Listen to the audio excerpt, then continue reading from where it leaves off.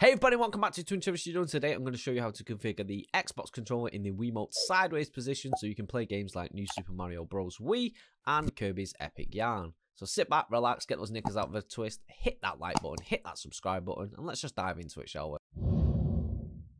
So to configure the controllers in Dolphin, it's really easy. You go to the icon where it says controllers, click that. Then see the bit where it says emulate the Wii's Bluetooth adapter, Wii Remote 1. Make sure that has emulated Wii Remote clicked click that, click configure. Then in the device section, make sure it says X input 0 gamepad or X input 1 gamepad, depending on where your controller is configured to.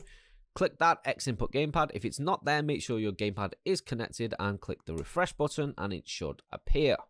Now the first button we're going to want to configure is the jump button, which is 2. We're going to configure that to A because I think that is the most comfortable. And the next one is the 1, which is the sprint button in Super Mario Bros. And we're going to want to configure that to button X. Then the plus button, which is the start button, we're going to click that to start and the menu to back. Then our D-pad, which is going to be up, down, left, and right.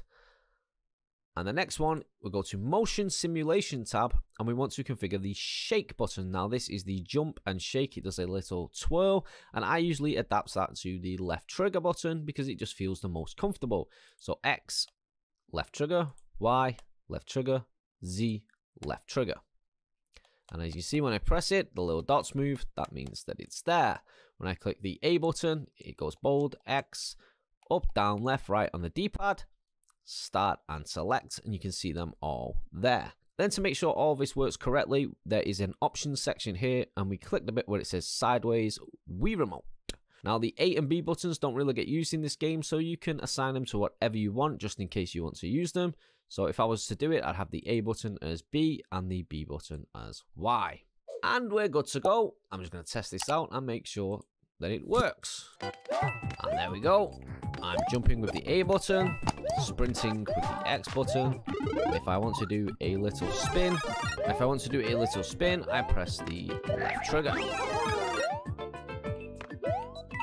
Now, if you're happy with that configuration, go back to the controls menu, click configure, and type in New Super Mario Brothers or whatever you want in the profile section here and click save and that will save the profile. As you can see, I've got different profiles for different games. So whenever I play New Super Mario Bros. or Kirby's Epic Yarn, I click on that and click load and it'll load in my configuration. Now, if you want to use the analog stick, you are more than welcome to. You just go on the D-pad bit here where it says up, move the analog stick up, where it's down, move the analog stick down, left and right, and you can use the analog stick if you want. I just prefer the D-pad for games like this. And that's everything for this video. If you've liked this video, please hit that like button. If you're new here, please consider subscribing to the channel. And as always, don't do anything I wouldn't do.